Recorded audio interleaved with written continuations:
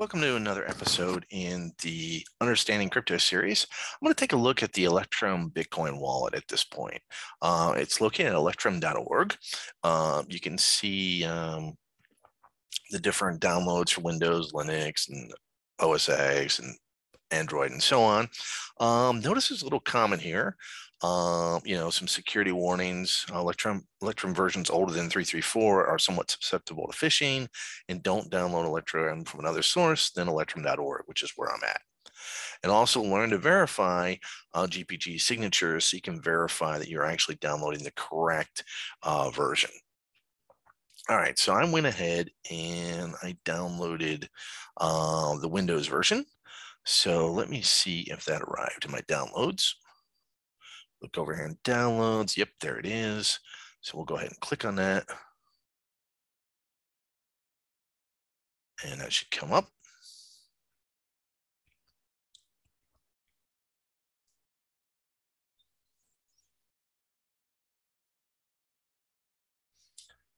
Here it is. How do I want to connect to this? So Electrum communicates remote servers to get information about transactions and addresses. Um, do you want to let them pick one at random or do you want to select it? I'm going to go auto connect. Um, yeah, I'll go ahead and create a default wallet. But let's see what it gives me as options. Uh, it just lets me pick the file. All right. kind of wallet you want to create.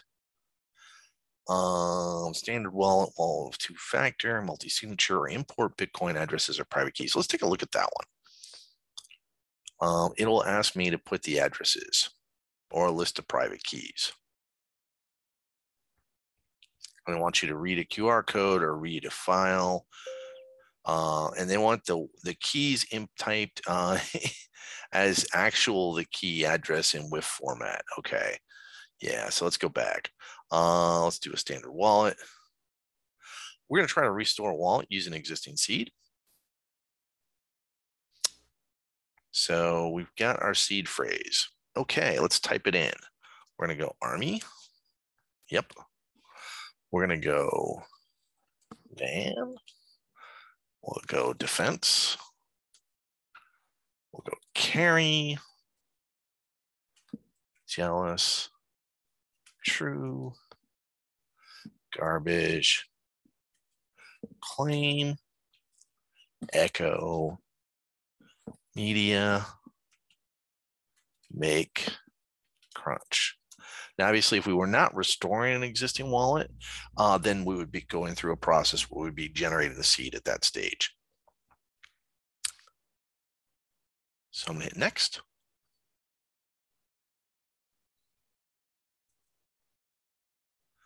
I'll click options.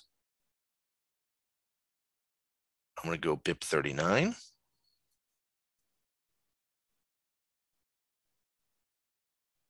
They don't actually generate BIP 39. Okay. Let me double check how many words I got. I got six, nine, 12. Yep. Okay. Next. And we want to detect existing accounts if they're out there.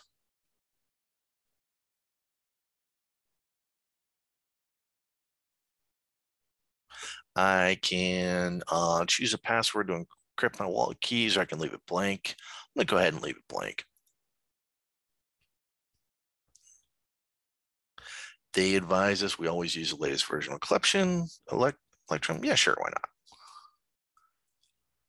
All right. Um, this gives me my default wallet. My balance is zero now that we're looking at this. Uh, let's go to wallet information, default wallet, standard, false, lightning. Here's our master public key. Uh, we could go ahead, you know, we got lightning not enabled currently. All right, that shows me my master public key. It's useful to know in case you want to, I can send. So I can send Bitcoin. It lets me figure out my payments, pay to whoever, description, amount, and so on. Uh, I can do a receive.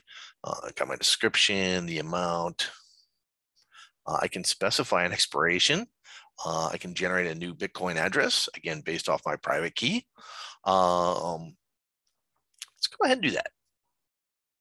So we just generated this address um, and it tells me uh, it's going to expire in one day. But here's the request. You know, and here's a QR code that someone could use their smartphone to identify this QR code. They'd get my address and then they could send Bitcoin to me. Pretty cool. Um, again, currently my balance is zero because there's nothing in this account. Even though I had a uh, private key I imported, there was nothing associated with that private key. All right, let's go look around what's up else is up here. So we got information, password, private keys, addresses, labels, histories, contacts, invoices, requests, and so on.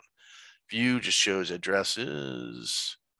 Um, so I can go over here, I can see some addresses, receiving addresses, some change addresses. Again, they're available to be used.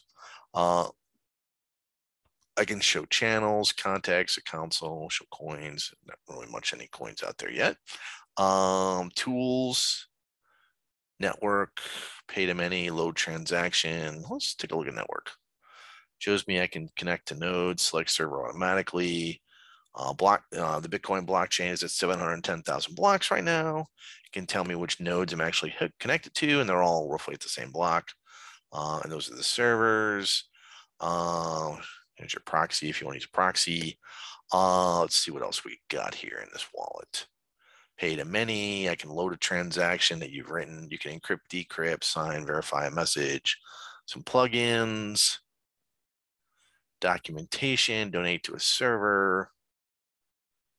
Uh, okay, so that's a basic look at the Electrum 4.15 uh, wallet.